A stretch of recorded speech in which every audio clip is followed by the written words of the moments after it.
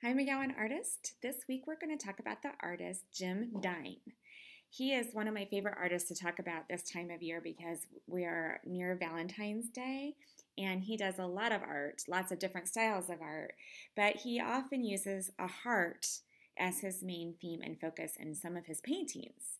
Jim Dine is an American artist and he was born in 1935 in Cincinnati, Ohio. He um, so he's currently 85. He is known as being a pop artist, which pop is short for popular. He tries to take popular images that are happening at the moment and um, create create art that way. He also was a drawer. He was he liked to draw, paint, and make sculptures. But today we're going to talk about his paintings. I'm showing you some of his paintings that have a heart symbol in them. Notice all the colors and the way you can see little marks from his brush to create different colors and almost like texture in his paintings. And we're going to do our own version of that today. Now, there's two of his fav favorite, two of his most famous heart paintings. One um, has one single heart in the middle, and the other one has four hearts. So I'm going to show you how to do both of them, and I'm going to let you pick today which one you want to do. So if you take a white piece of paper and I'm going to bring this down. And for this, I am going to draw one heart in the middle of the paper. Now, because I'm doing a single heart, I don't want the heart to be really small. I want it to fill my page. So I'm going to take a pencil and I'm going to draw one large heart. You might not be able to see that all that well right now, but that's just my guide. But I'm going to paint this today, and I'm going to use beautiful, bright colors. Now, at home, you can use whatever you have. If you have paint, that's awesome. If you have just crayons or markers, feel free to do the same idea by just um, using your markers or crayons to make splots or dabs of color all around.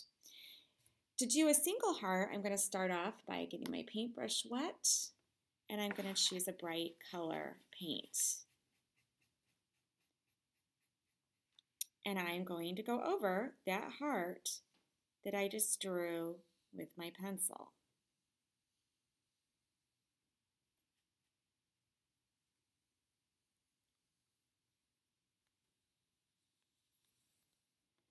Now I'm going to fill my heart with different dabs of paint. Now I'm not going to paint splatter, that'd be kind of messy, although it would be fun.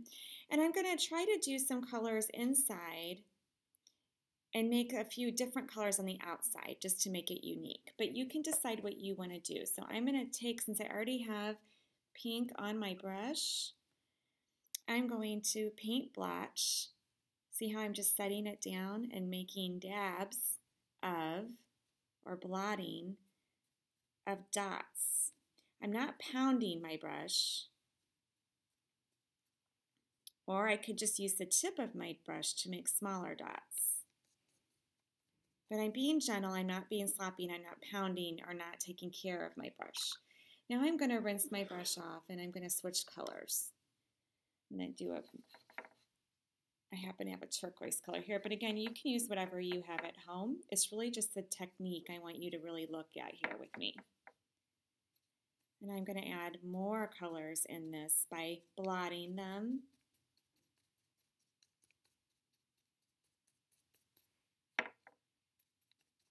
I'm kind of trying to make it a little even when I do this.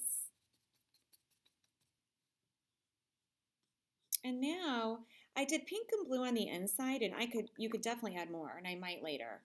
On the outside, I'm going to choose different colors, so it'll make this stand out, and so that I really see the heart. So since I did pink and blue, I'm going to, or turquoise, I'm going to stay away from it. And I'm going to do a green, got like a light lime green here. It'll still kind of go, but it definitely will look different. The screen's kind of light.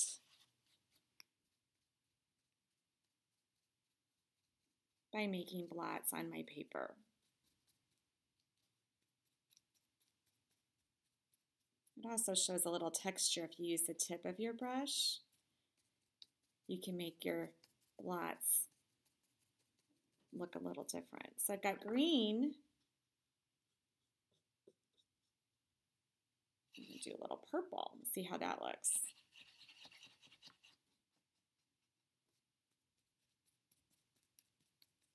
So it's giving a little bit more color.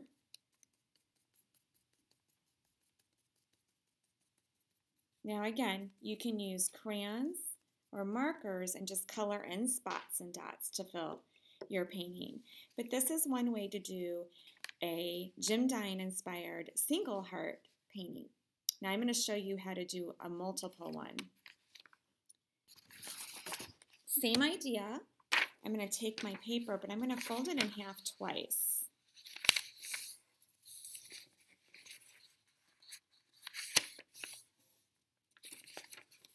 And open it up. And in each section, I'm going to create a heart.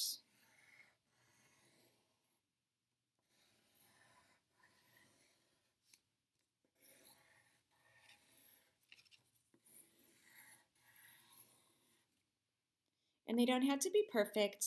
I think sometimes imperfection makes it perfect. And I'm going to do the same idea. I've got four hearts, one in each corner.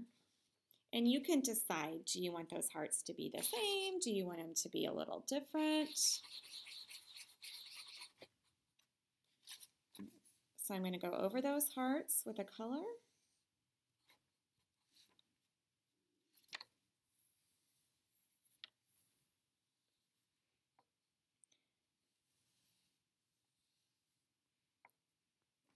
And remember, you're the artist, so after you do your hearts, you can choose your colors or however you want to do it.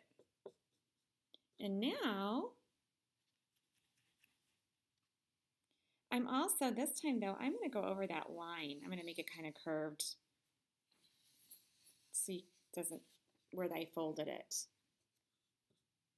And then, using whatever colors I want, I'm going to lightly tap in here with the tip of my brush to make my painting. Now I'm going to do a little different here. I'm going to make two of these the same and then I'm going to switch it up and do a different color inside the other one.